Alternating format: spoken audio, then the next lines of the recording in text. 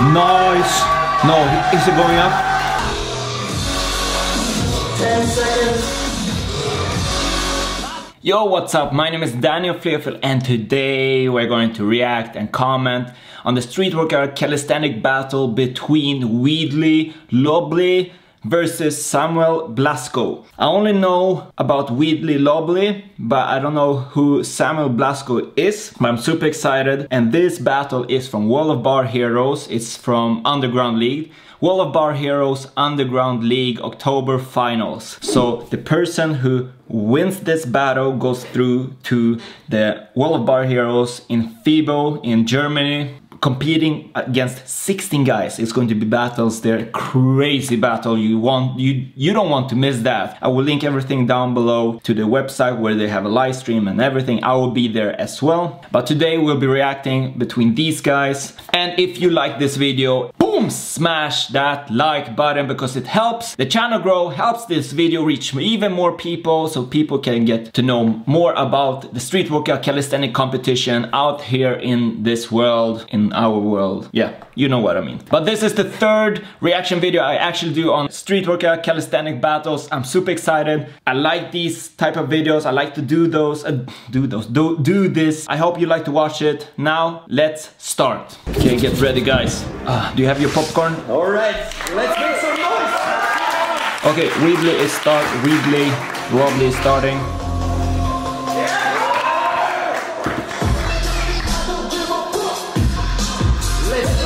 Shrimp flip, 540, nice one. Oh, switching to that.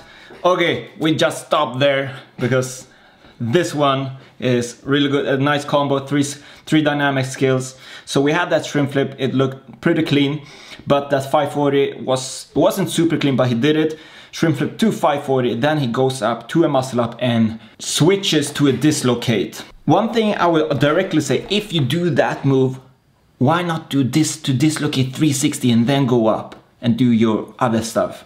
But let's continue. Now I think he's going for a static move. Full planche. Okay, pretty good. Now Maltese. Straddle Maltese. Hold that, hold that, hold that, hold. Nice. To front lever. Nice, bro. Oh, that was a weird one. I, I will count his full planche. I will count his Maltese because he held it long enough and also his front lever. It wasn't the cleanest, but he held the front lever. But this one was a weird Hefesto to something. I haven't seen this one before. There you go. Okay, 10 down. Oh, he's doing a Hefesto. Nice. Strong. Oh, two Hefestos. Four, three, two, and a backflip on the bar. Oh, back, sitting backflip from the bar. Nice round, showed the statics, he showed dynamics. Just one thing I would just work on is when you're doing that handstand to switch into dislocate, do dislocate 360. Because if you're doing that crazy transition, why not do a 360? It's meant to be like, it's meant to be that you do that. But Weedlay, really good round. Let's see what Samuel Blasco will do. I haven't seen him compete ever, uh, so this will be interesting.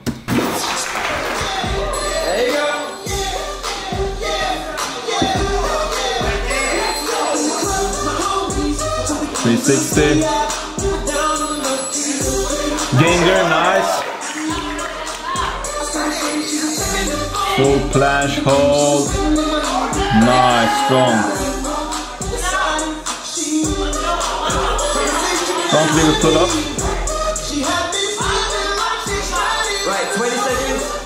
Full planche. Push up. Okay, we stop there because I will not remember everything. So that 360 and then up to get speed to do that Ginger. Just from watching a few seconds of this, he's more of a static guy and just doing the 360 to nothing more and is not as high in dynamics, but you did the Ginger, good one. And then going to a full planche, that was a clean one, held it as well. He was not just going up and down, he held it. He, he did that front lever pull up as well. A little bit of hip movement when doing that, so I wouldn't say super clean, but still did two of those. And then going up to that fr uh, full front lever uh, push up. And ganger. It's not done.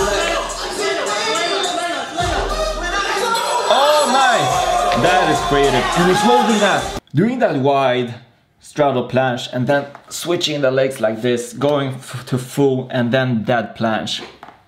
I like that. Super strong. And like I told you, he is a static guy. Okay, really, let's see your second round. Nice. No, is it going up? No, no, okay. That one, that's goals like going to a full planche, he's holding, he's showing that he can't do it, but he's like, let's go down to a dead planche. Holding that dead planche, walking down makes it even more powerful. And that's creativity. So let's see what he brings up now, next. Handstand. One arm handstand, nice, hold that, hold that, hold Nice. Land, dead planche again. Strong. What is he going to do now?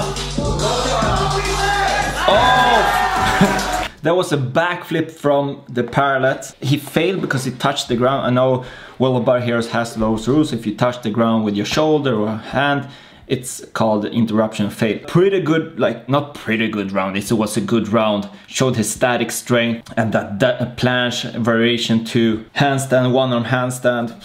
Good one Weedlay, good one. And the audience here, when I was watching this for the first time, it was between Julian Rochet and what was his name, Barney Molnar.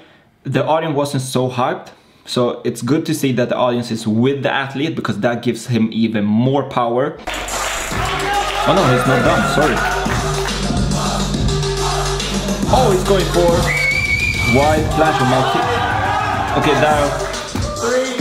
Look, Weedlay, come on. You did a pretty good round, not pretty, you did an amazing round. Why go up and hold some bad form multi?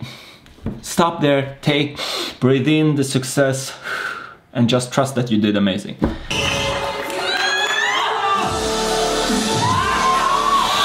Okay, I told you guys, he's static. Full planche to a full planche press and it was a clean one.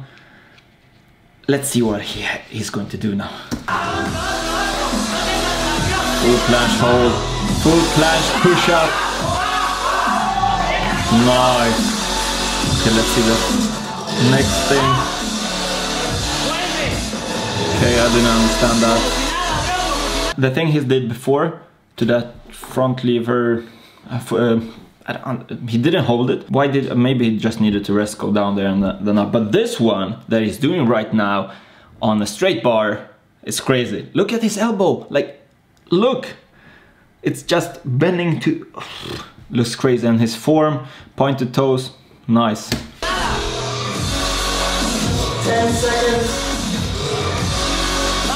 Nice front lever. The second one was not as good. He's going down. He's doing a prayer planche. Straddle prayer planche. Nice. Statics wise, really good. I like your statics. You're strong in planche. In dynamics, you it was lacking some because you just did two dynamics. But let's see who wins. This is what I predict. As you can see here, they have statics, they have dynamics, they have strength dynamics and combos and creativity. And five judges as well if you don't know already. And the one who gets the most categories wins. This is a fair judging system. I like it. Uh, Weedlay, Weedlay, Weedlay and Simon. So Weedlay will not win the statics. I think the statics will be won by Samuel it will be pretty close, I think. And then dynamics, Weedlay will win. Strength dynamics, I, I, I would say that, oh, this one is going to be close.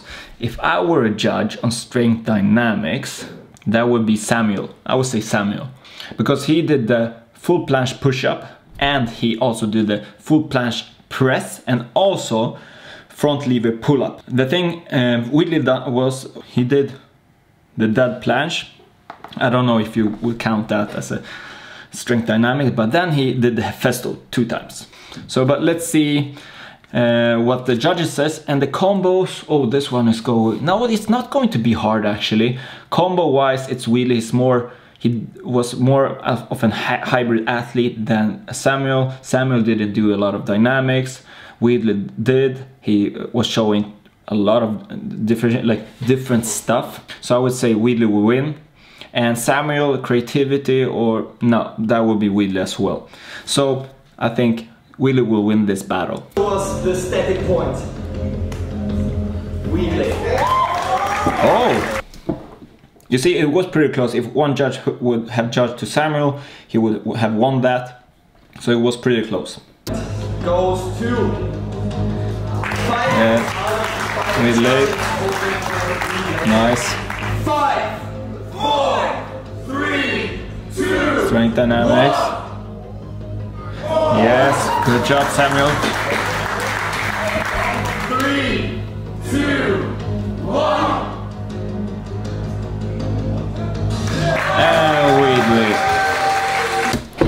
Good job, Weedlay. Good job, Samuel. Shout out to you both. You did an amazing job. Samuel, your full planche and full planche push up and the press.